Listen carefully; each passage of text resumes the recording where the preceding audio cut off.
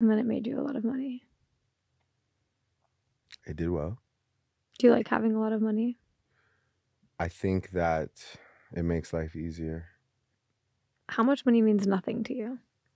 Like, what's an amount that you can just hand out and you're just like, uh, no biggie?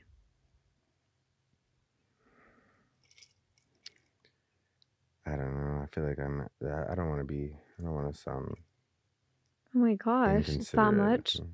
Okay, whatever the number is, can you give it to me? Sure.